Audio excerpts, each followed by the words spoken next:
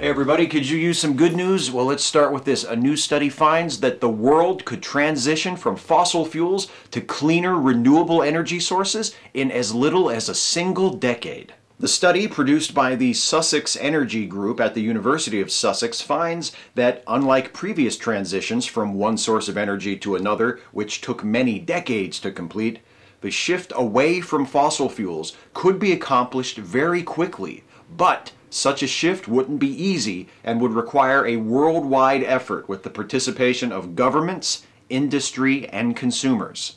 That sort of transition happening in such a brief window of time isn't unprecedented on smaller scales. The study cites Ontario phasing out coal, which was done from 2003 to 2014, as an example. Also cited is France increasing the amount of its energy produced by nuclear power tenfold from 1970 to 1982. The long promised clean energy revolution can happen and can be completed relatively quickly if enough of us have the will to make it happen. The study is published in the journal Energy Research and Social Science. Next up, a new stem cell therapy has been shown able to improve motor function following a spinal cord injury. An international team led by researchers at Hokkaido University in Japan has succeeded in using stem cells to regenerate severed spinal nerve fibers in rats, allowing the rats to regain movement of their limbs.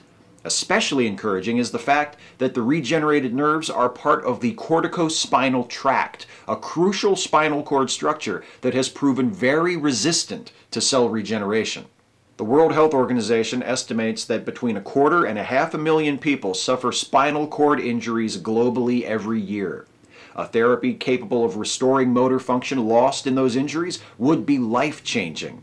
But the researchers developing this treatment emphasize that while it's promising, it still needs a lot more work before it's ready for clinical trials on human patients. The study is published in the journal Nature Medicine.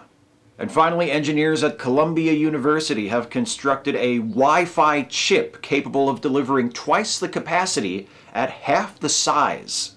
A team at Columbia's School of Engineering and Applied Science has built a wireless radio capable of full duplex communication, which means that it transmits and receives simultaneously at the same frequency using a single antenna.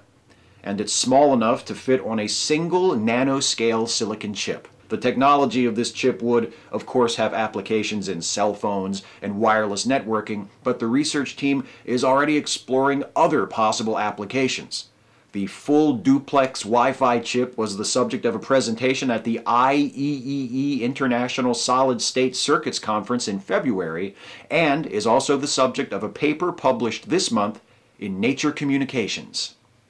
The transition away from fossil fuels could be completed in a decade if we wanted to do it. A new stem cell therapy is proven effective at regenerating damaged spinal nerves, and a new Wi Fi chip provides twice the capacity at half the size. That's the good news.